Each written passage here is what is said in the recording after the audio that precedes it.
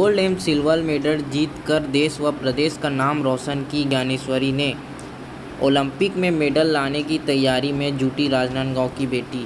खेलो India सहित ranking tournament व Greece देश में आयोजित वेट लिफ्टिंग प्रतियोगिता में गोल्ड व सिल्वर मेडल जीतने वाली राजधानी राजनांदगांव की बेटी ज्ञानेश्वरी यादव ने पंचकुला, हरियाणा, हिमाचल सहित ग्रीस देश में आयोजित weight lifting junior world champion स्पर्धन में ज्ञानेश्वरी ने तीन मेडल कब्जा किया।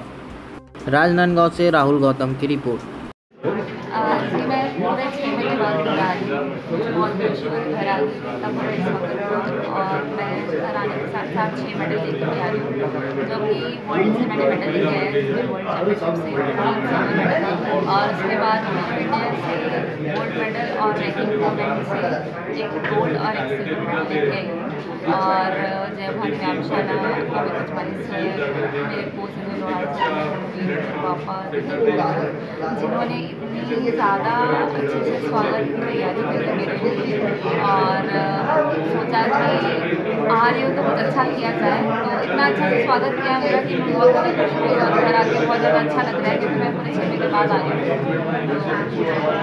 ऐसी कि खुशी ज़ाहिर करना मुश्किल हो गया है कि कितनी खुशी ज़ाहिर करें। शब्द तो नहीं है पर भी कहना चाहूँगा कि हमारा सीना उसने चौड़ा कर दिया अभी खुशी से। और पूरे नाम का पूरे देश के लिए गर्व की बात है कि उसने मेडल लाया एक बहुत लोगों का ये सपना होता है कि इस मेडल को हम पा सके देश के लिए।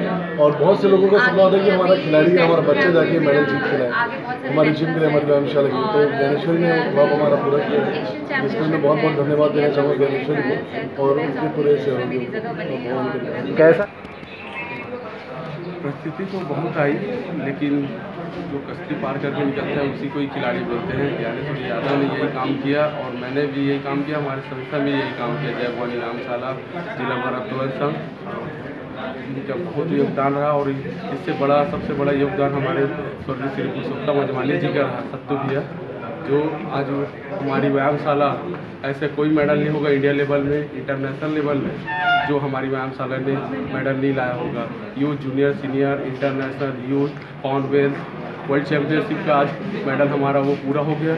अब एक बच्चा ओलंपिक में भेजने का हमारे व्यायामशाला का वो दिन भी ज़्यादा दूर नहीं है। ज्ञानेश्वरी को देखते हुए रिज़ल्ट ज़रूर लेगी। ज्ञानेश्वरी, ये हमें पूरा उम्मीद है। उम्मीद के साथ साथ हमें भरोसा भी है।